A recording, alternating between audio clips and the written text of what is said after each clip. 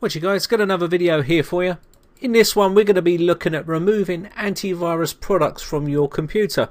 Now you may think that this is going to be straightforward and go into control panel and uninstall programs and, and stuff like that. It's not that simple. Sometimes what happens is you get issues when you go to uninstall antivirus programs.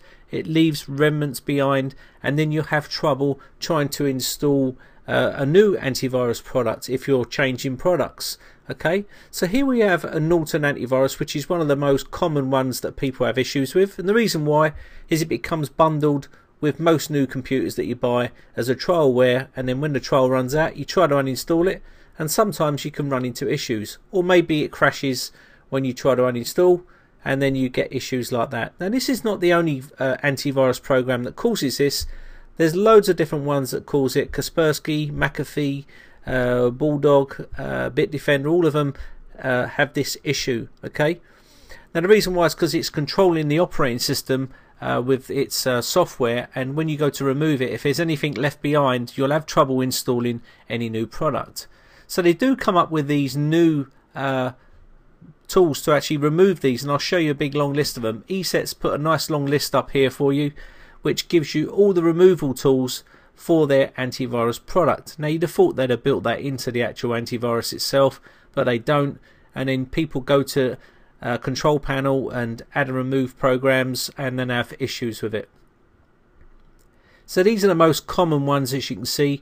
We've got all the list of the most common ones and if yours is not listed here then you will have to hunt for it but pretty much I'm sure you've got one of these products here okay now all you need to do is come here and download your product I've already downloaded uh, Norton's one but you can see Norton's tool here Norton removal tool this will remove uh, all Norton products okay you just download that tool once you've got that I've got that on the system now you don't go and run this straight off the bat. What you need to do is go to add and remove programs, okay?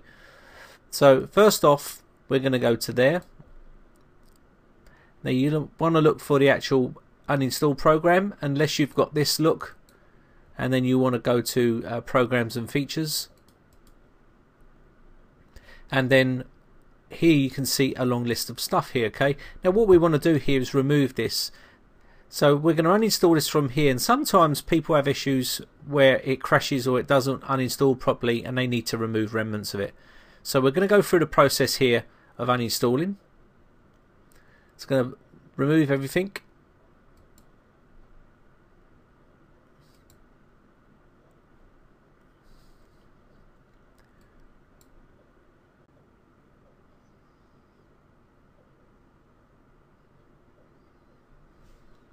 Okay, wants us to restart now, so we're going to quickly restart.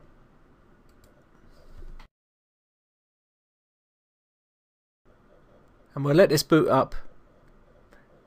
Now you want to use this method on every version of Windows, okay? Windows 8, Windows XP, Windows Vista. This is the one you method you want to use, okay? And it will get you back up and running in no time.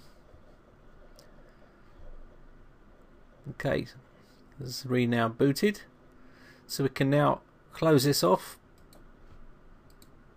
And I will put the links in the description. Another tool that you're going to need is this tool here. It's called Everything uh, Search Engine. It will search everything on your system. Now, just in case there's anything left behind, we can use this to search for any Norton folders and files that are left behind on their removal tool. Okay, now I've already got this downloaded. I've downloaded a portable version. So here we have our Norton removal tool. So what we want to do here is we want to run this as administrator.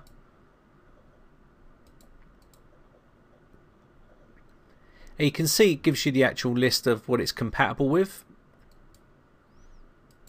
I'm going to accept the agreement here, go next.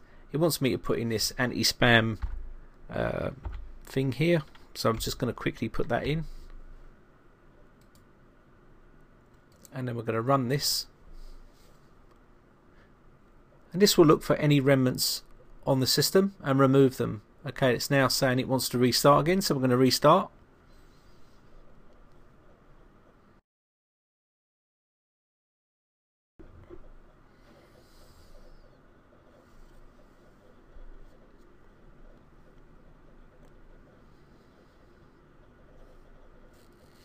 Okay, we're back at the desktop.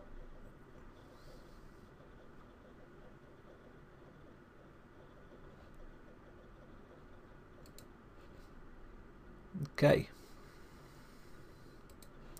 So that's now done. So let's just quickly check our uninstalled programs area. Okay, still something here. We can remove this.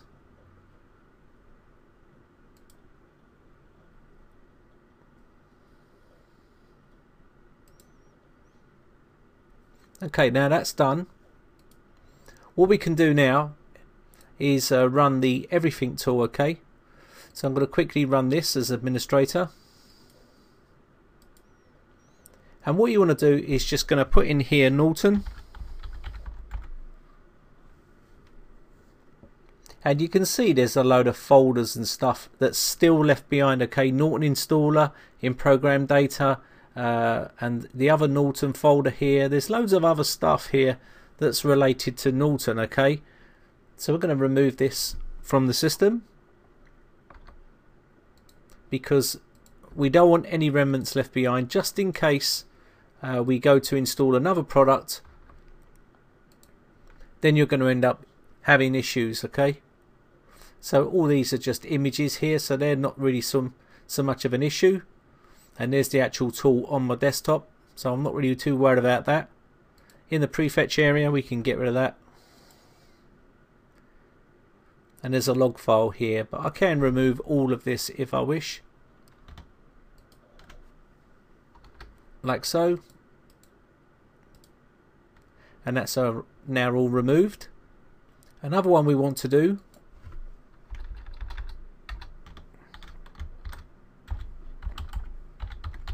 Is Symantec we just want to make sure there's nothing in there related to that.